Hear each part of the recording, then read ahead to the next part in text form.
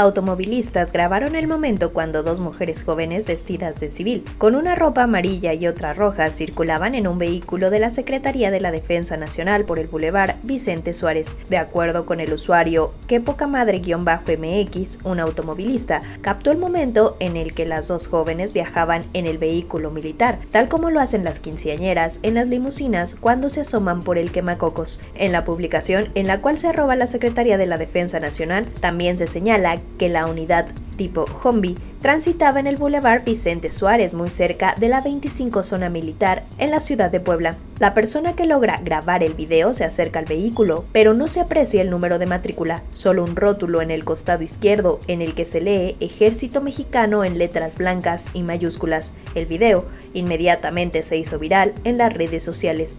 El Universal buscó algún pronunciamiento por parte de la Sedena, quienes respondieron cerca de las 7 de la noche de este martes 9 de mayo, que por el momento no contaban con información al respecto.